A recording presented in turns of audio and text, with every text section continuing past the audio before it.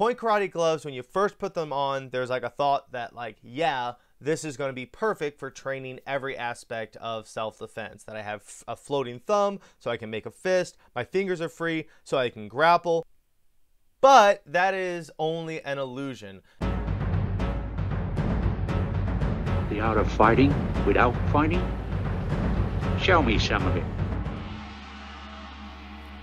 Hi there, everybody. Michael Valenti here with the School of Self Defense in Indianapolis. And in today's video, I am going to be ranking the various kinds of gloves you could buy for sparring. If you are new to my channel, be sure to hit the like button, hit the subscribe button, and click the bell so that you can be notified whenever I release a new video.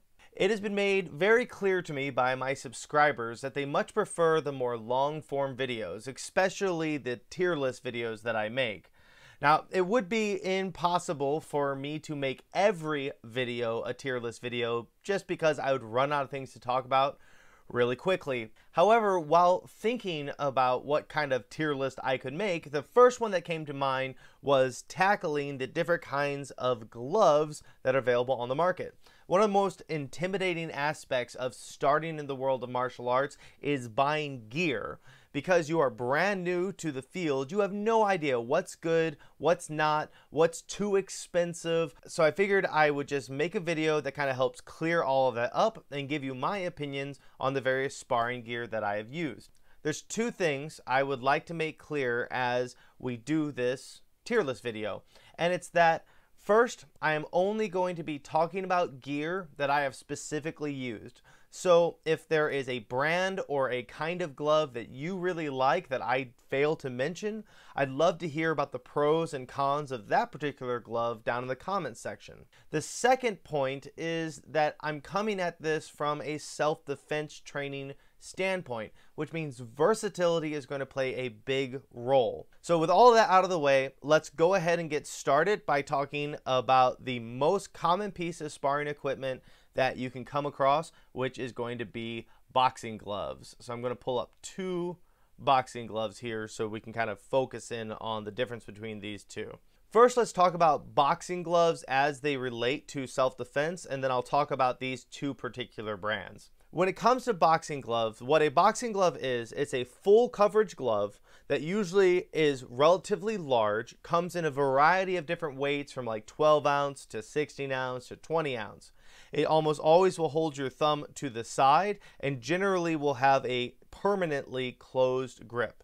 They're usually very large with a lot of wrist support. The benefit of a boxing glove is the fact that they are large. And because they are large and have a lot of cushion to them, it allows you to have much harder kickboxing and sparring sessions without running the risk of injuring your opponent. Boxing gloves are also nice because they generally are really quick to put on, so they work for a like quick pickup game of sparring and they are everywhere. You can buy a boxing glove at Walmart. You can buy a boxing gloves at Dick's Sporting Goods. You don't have to specially order a boxing glove, which is really nice. A positive side of this style of glove is because they come in a variety of weights, you can get a heavier weighted glove and kind of get a bit of very low line weight training in your punches so that you learn to punch with a little bit more weight on your hands, which then allows your muscles to develop to better control your shots. The downside of boxing gloves when it comes specifically to sparring, which would prevent a boxing glove from ever making it to the A tier, is that it really is exclusively a punching glove. Remember that when we study self defense, we have to be prepared for stand, clinch, ground, and weapons based training in our sparring. And with boxing glove, you're basically limited to the standing phase and a little bit of the clinch phase. Trying to get any kind of real submission with a boxing glove uh, will range from frustrating to basically impossible, depending on what submission it is.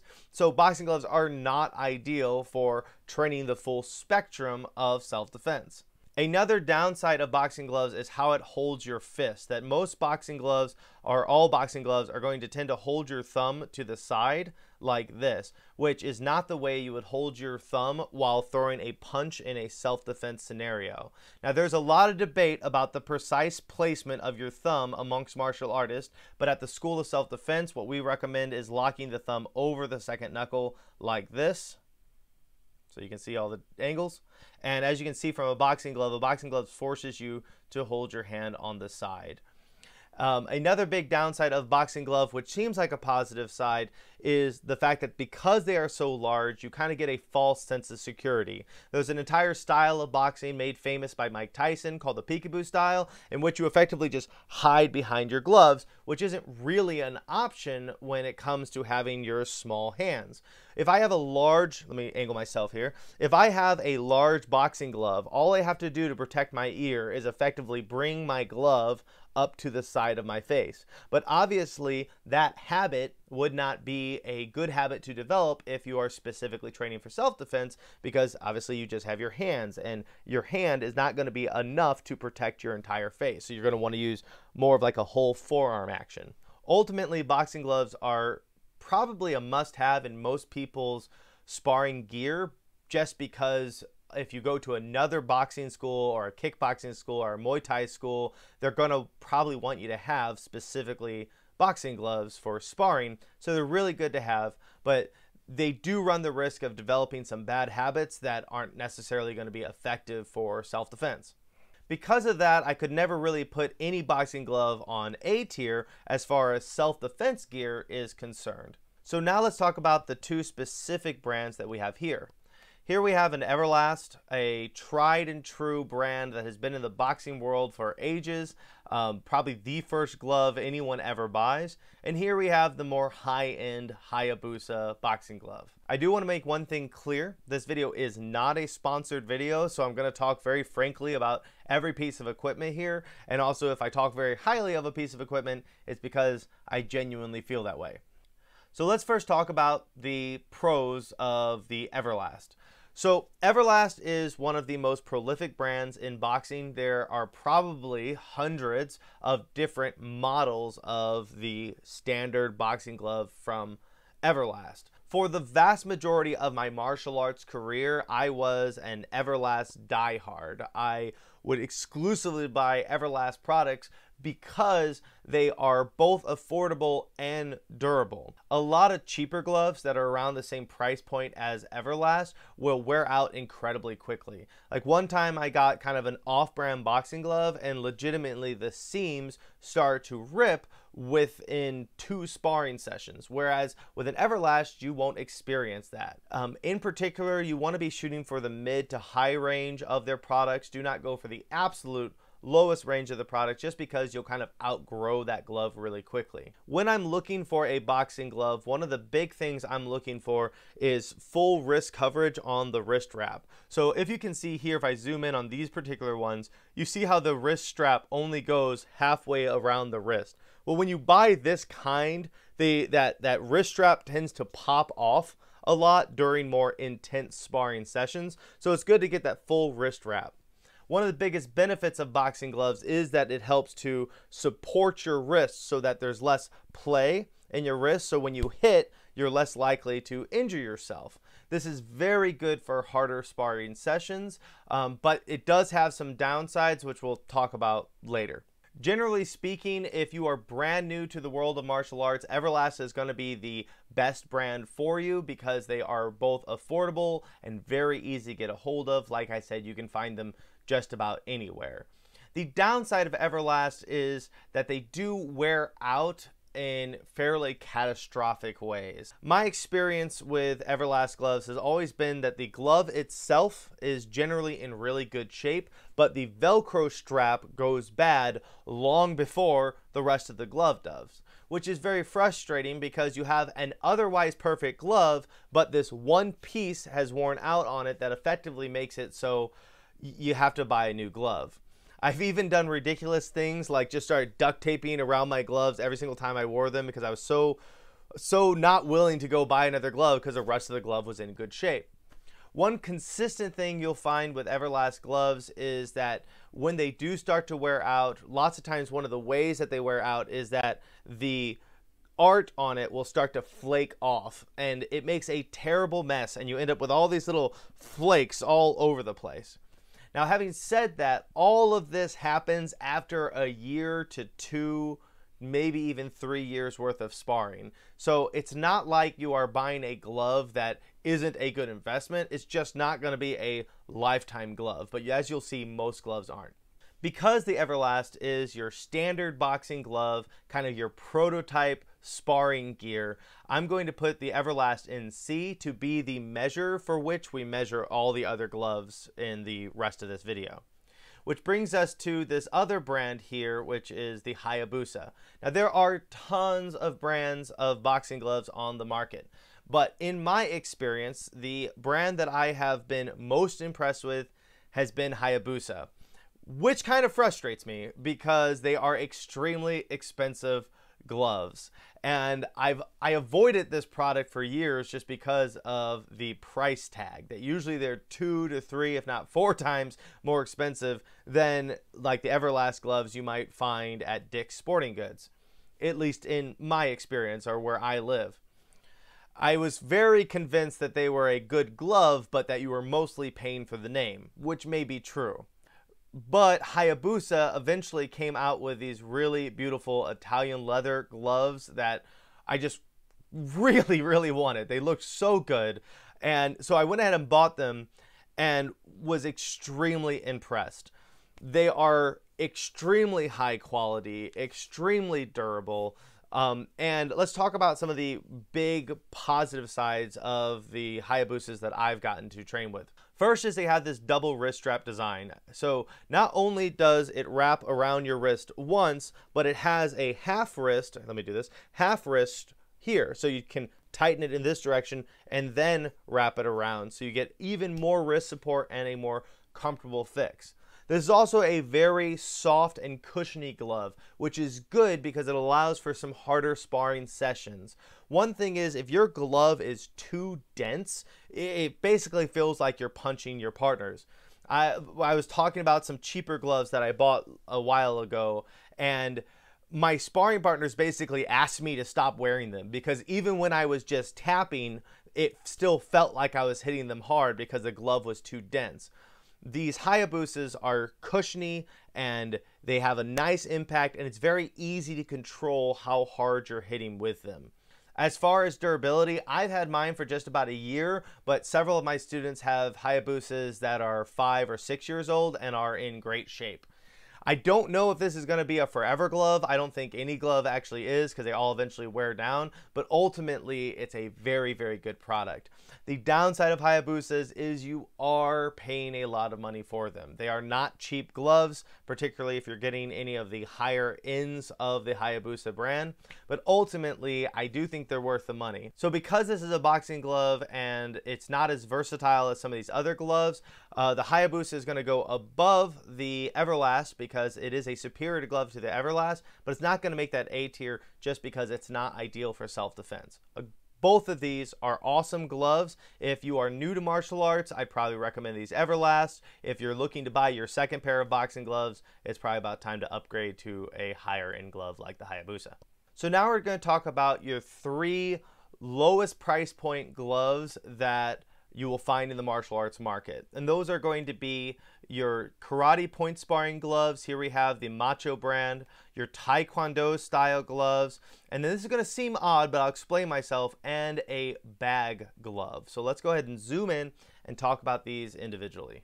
So at first glance, all three of these gloves appear to be solving all the issues that exist in boxing gloves.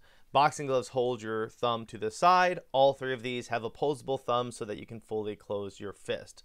Boxing gloves co cover your grip so that your grip has to stay closed. So as a result, you can't grab people. All three of these have free floating hands so that you can grab. Why would I not just get these over a boxing glove? And it's going to come to the versatility of the product and the quality of the product. So I first want to start off with the Point Karate gloves. And Point Karate gloves, when you first put them on, there's like a thought that like, yeah, this is going to be perfect for training every aspect of self defense. That I have a floating thumb so I can make a fist, my fingers are free so I can grapple. But that is only an illusion because of how these gloves actually hold you in the glove. Uh, they don't work well for any of that. So let me zoom in even further so I can kind of talk about my issues that I had with these gloves. If you can see here that your fingers are kept in with this sort of plastic or hard rubber railing. Now these are the Macho brand, but Century has these. They all kind of are roughly the same and your fingers are held in with a sort of plastic railing that kind of grabs onto your finger with these loops. But it's not a fabric or a flexible thing. It's like I said, it's kind of a plastic or a hard rubber. And what I find happens is that whereas if you just keep a fist like you're throwing punches with boxing gloves, they stay on your hand pretty well.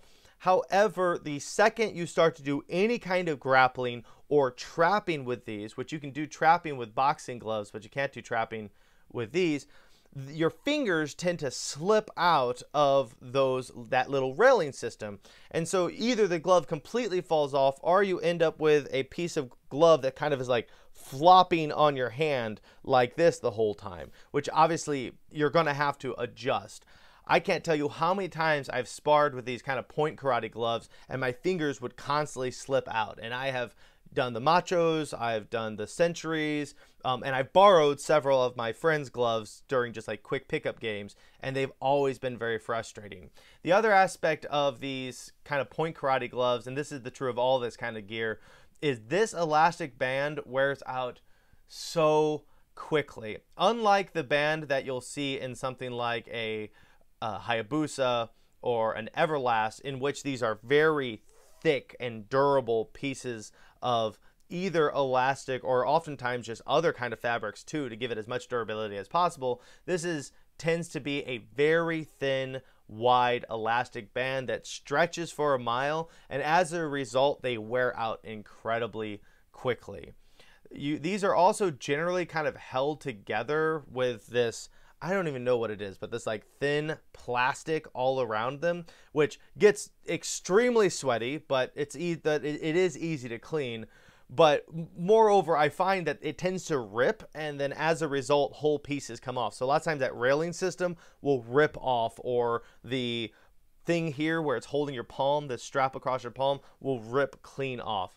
So Whereas these are fine if you're doing extremely light kickboxing. The second you get into any kind of mixed martial arts or weapons play or anything other than kind of point karate, they tend to fall apart. And as a result, I'm going to put these down here in the F.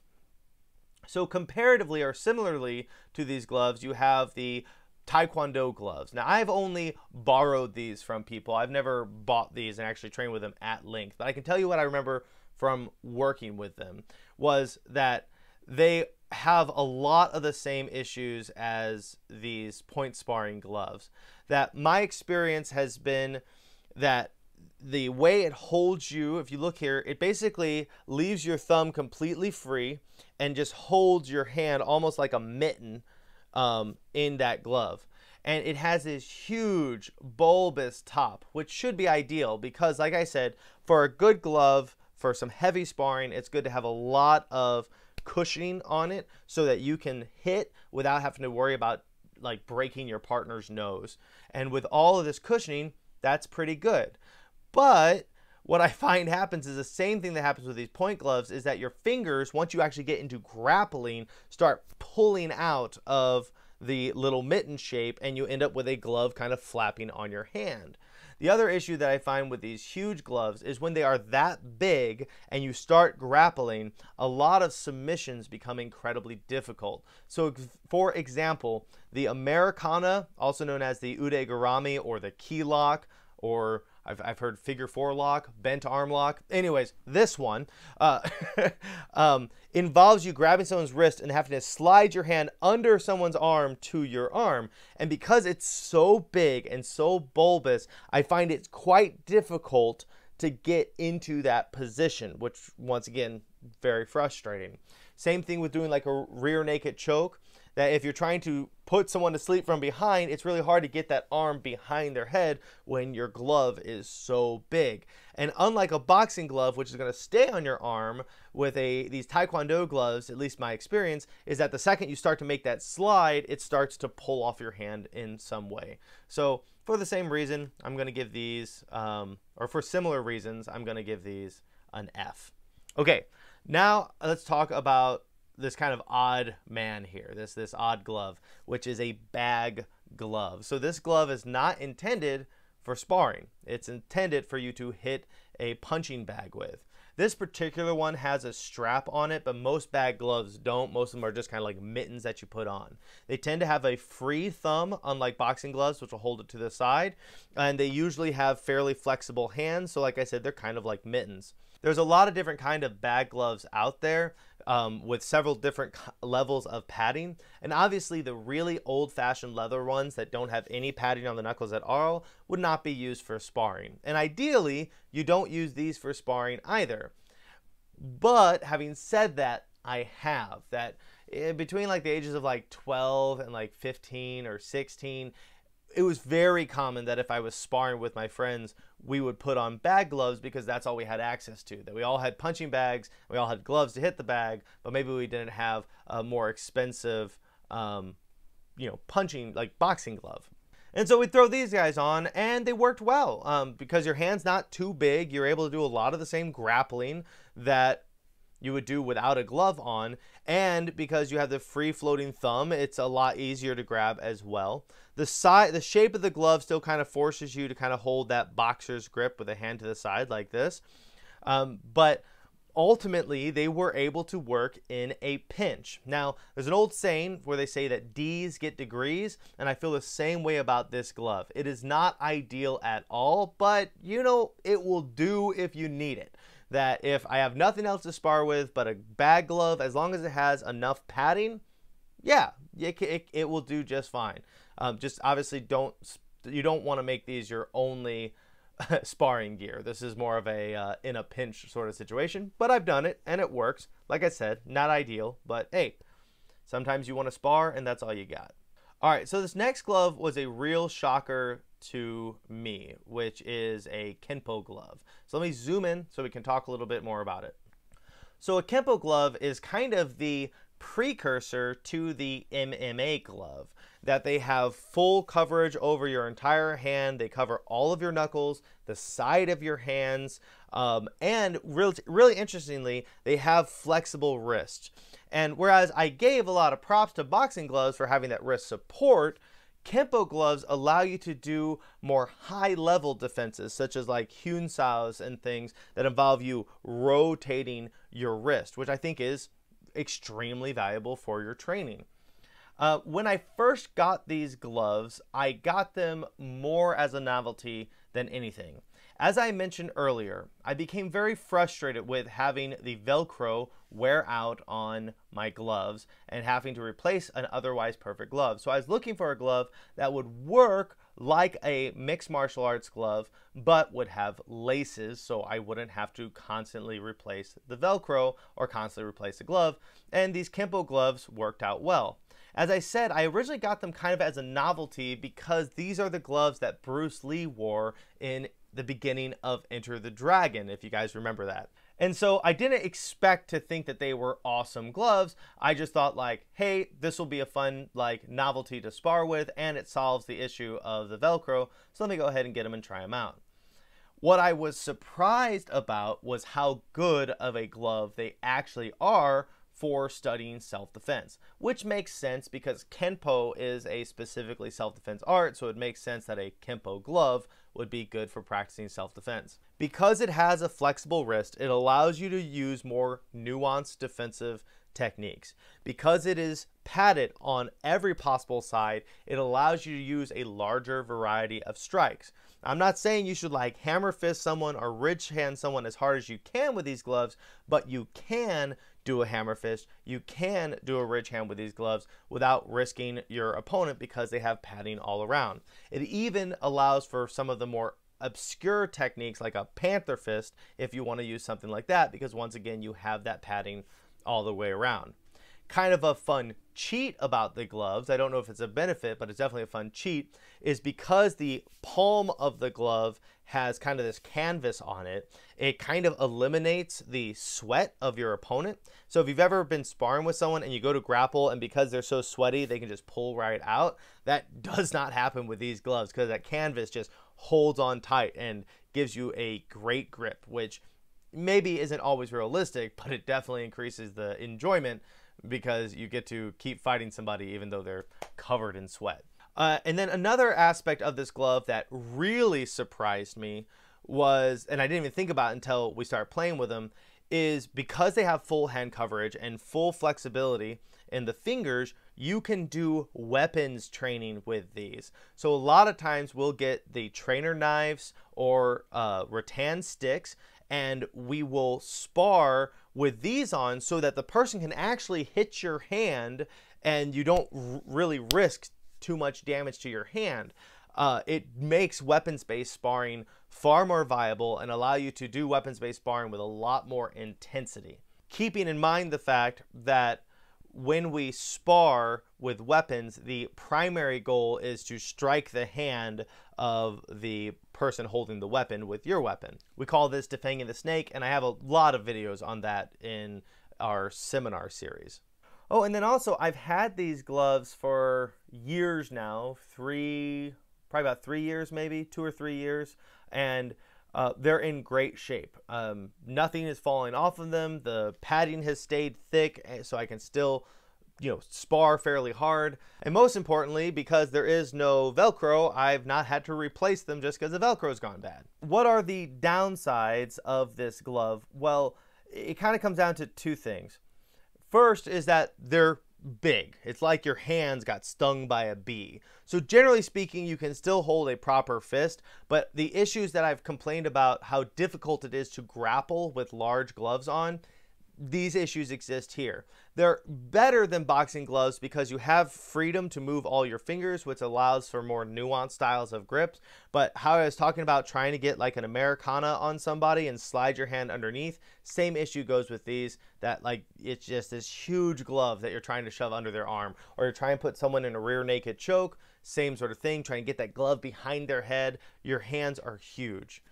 Uh, because they are big, you also may run the risk of using them as uh, kind of a unnecessary shield or an unrealistic shield. Although I find that uh, it's harder to do that with these than it is with boxing gloves because they because since they're so flexible, they're less dense, and so you really kind of can't just eat blows on these the way that you can a boxing glove. The second issue with these gloves is the fact that they are lace up. So the very thing that I like about them is also frustrating about them because generally speaking, it's very hard to lace yourself into your own gloves because you tend to need to tie knots with both hands and not just one. However, I was able to remedy this situation with a modification. Have you ever seen those shoelace straps where you can kind of pinch a button and pull the shoelace tight? I actually replaced the laces on this with that style shoelace, and so I can actually just grab it and lay and tighten it up by pulling on it. And so far, that has stood the test of time. It's worked really, really well. But as it come out of the box, you'll probably need someone to tie you in each time you spar, or you're going to uh, want to replace those laces with something that's easier for you to lace up yourself. So the downsides for these gloves do not get close to outweighing the positive sides of these gloves. Because these gloves allow me to stand, clinch, ground, and weapons-based training, I'm going to put these in the A. And like I said, if that shocks you, uh, that surprised me as well because I did not expect to like the gloves as much as I did. I was just buying them because I was a Bruce Lee fan. But ultimately, these worked really well. I highly recommend them. I would just recommend that when you buy them, buy replacement um, laces so that you can lace them up yourself. Okay, so next glove that we're going to talk about is a classic MMA glove. In many ways, the evolution of the Kenpo glove is to go to an MMA glove. An MMA glove leaves all your fingers free. It leaves your thumb free so you can make a proper fist. It doesn't make your fist too large so that you aren't able to hide behind an unnecessarily large shield.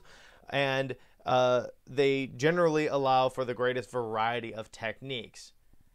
Having said that, I don't think of these as good sparring gloves. Because the padding is so thin, you run a much larger risk of causing some more serious injuries to your sparring partners. Don't get me wrong, like sparring's gonna get you hurt, but we really want to avoid like breaking people's noses or or breaking someone's orbital bone. We want to avoid those kind of incidences, and the way we do that is with a thicker, softer glove so that the impact is dissipated over a larger surface area ultimately, these are only going to be for very light, light, light sparring or to compete with. And because of that, even though they seem very versatile, I'm going to put them way down here in the F because I just don't think of them as sparring gloves. This is better for competition when you want your punches to hurt your opponent. One thing to remember with sparring is that the goal is not to hurt your opponent, but rather to show your opponent you could have hurt them. We are only actively trying to hurt someone if we are competing or obviously if we are practicing self defense. Now, this glove would be more necessary if it wasn't for this last brand of glove or last style of glove, which would be the hybrid glove. So, a hybrid glove is a glove that has the MMA style, so you full closed grip and small profile, but has a lot of padding on top so that um, you know you can hit a little harder. Unlike a point sparring glove where the railing system for your fingers is very kind of stiff and rigid, this is a fabric finger holes that grip your hand really, really well. These gloves never fall off of your hands. Here we have three different brands of hybrid gloves that I have personally used a lot. So we have the Combat Sports, the Everlast, and of course, finally, the Hayabusa. And of the gloves on this list, the hybrid gloves are going to be the most versatile as far as the striking and grappling arts are concerned. They have literally all of the positive side of an MMA glove, but they have sufficient padding so that we can minimize the amount of injury to our sparring partners uh, while playing with each other. Because the glove is not too large, it also solves a lot of the issues we see with like a uh, Kenpo glove where submissions are a lot more viable with these style of gloves. And I'm gonna I'm gonna be able to get into kind of the nuances of these, but generally speaking, the best glove for sparring self-defense is probably gonna be some version of a hybrid glove. So let me talk about each one of these brands individually and kind of my experiences with them. So first I'm going to start off with the Combat Sport glove.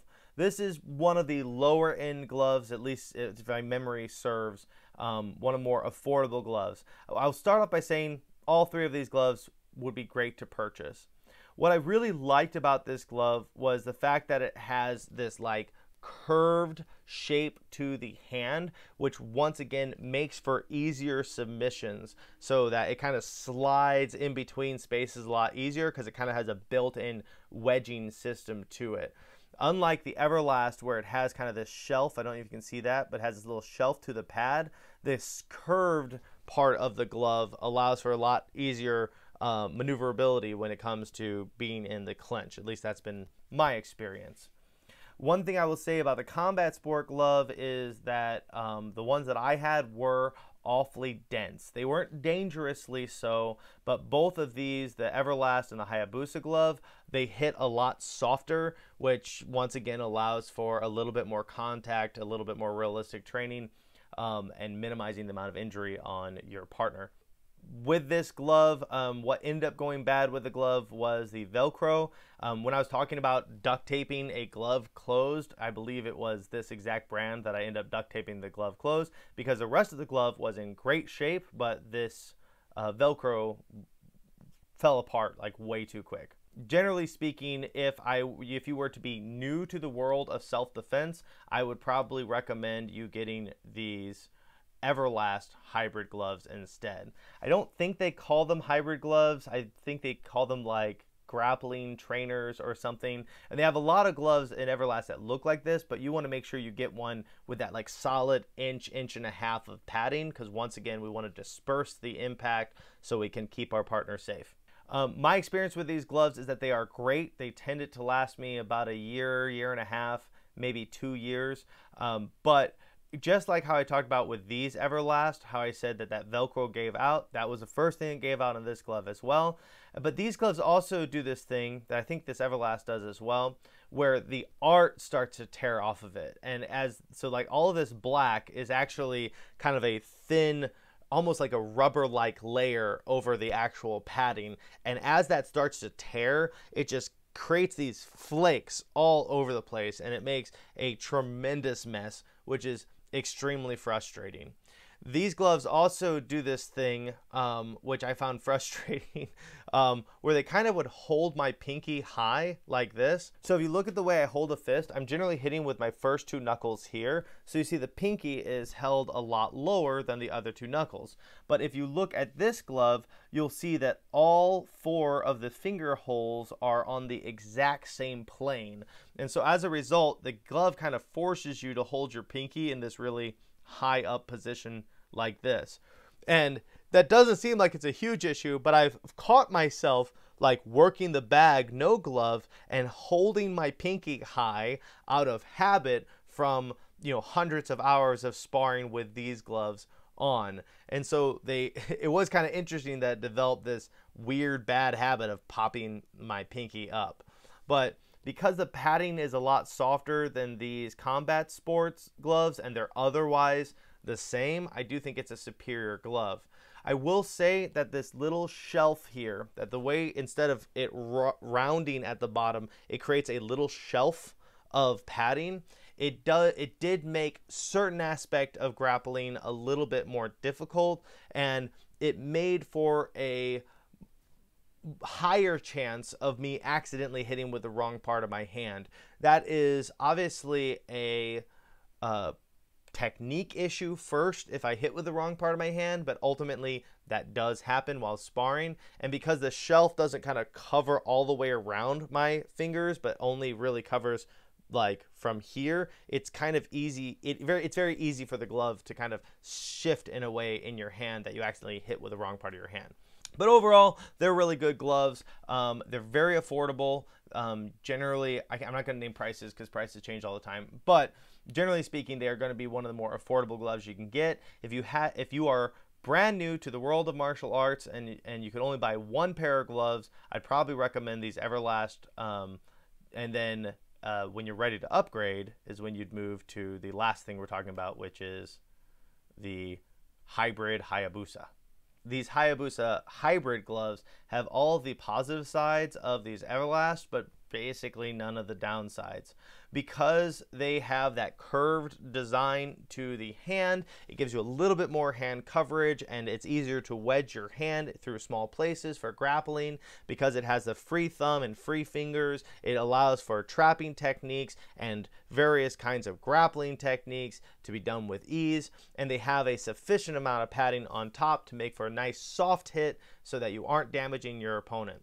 In particular, these are their fancy Italian leather glove, their more high-end glove, and I can't tell you it it is so soft. It's it's lovely. It's lovely, and uh, and that's something I look for, as I've stressed a lot. That when we spar, we're not trying to hurt our opponents. We are trying to show our opponent that we could have hurt them. That's the difference when you're sparring versus fighting. And so a glove that doesn't destroy your opponent on impact is always a good idea, and these definitely fit the bill. Plus, these have that double wrist strap system that the boxing gloves down here have, where you have one that strips just goes down the middle of your wrist and one that goes around the whole wrist, which once again makes for a nice tight fit. The hands aren't too large, so you don't get a false sense of security. You actually have to block appropriately for self defense. Generally speaking, I love this glove. The only real downside of this glove, which isn't really much of a downside, is that you're basically stuck to punching straight on punches and back fist because with like unlike with a Kenpo gloves that would allow for a hammer fist or a ridge hand, um, these only have padding on the front and the back of your fist, not on either side. These also are not going to be as ideal for weapon space sparring like these will be as well, as well as they have that deeper wrist control, which is going to um, kind of restrict some of your movement, but not as much as a boxing glove does. So generally, I, any kind of like Wing Chun technique, I can still do with this glove really easily. I can just do it a little easier with these ones. Um, so generally speaking, both these gloves are great. Um, they both are very similarly priced, so it just kind of depends on which one you want. If I had like gun to my head, which one I like better, I think I like these Hayabusas better than the Kenpo gloves, but it's so close. Uh, my opinion may be different depending on what day of the week it is. So let's zoom out, look at where our tier list is, and kind of get final thoughts.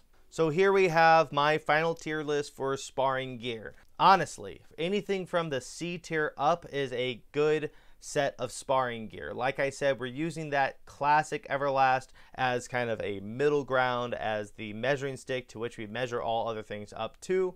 And both the Everlast boxing glove as well as the Combat Sports hybrid glove are both awesome gloves if you are just brand spanking new to the world of martial arts and you're not willing to pour a million dollars into your training gear, um, you know, this C tier is going to be great. But if we are looking for the top tier, the best of the best that allows you the most versatility in training, where you're working stand, clinch, ground, and weapons based training, we're going to be looking at the Hayabusa hybrid glove, specifically this Italian leather version, and or the Kenpo glove with the laces because they last long and they have a lot of versatility as well.